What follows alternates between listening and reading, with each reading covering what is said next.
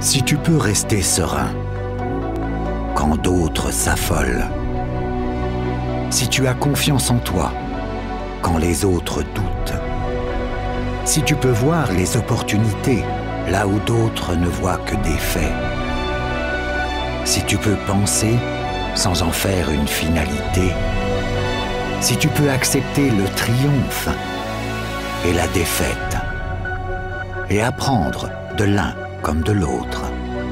Si tu peux voir tout cela, alors c'est un monde d'opportunités qui t'appartient.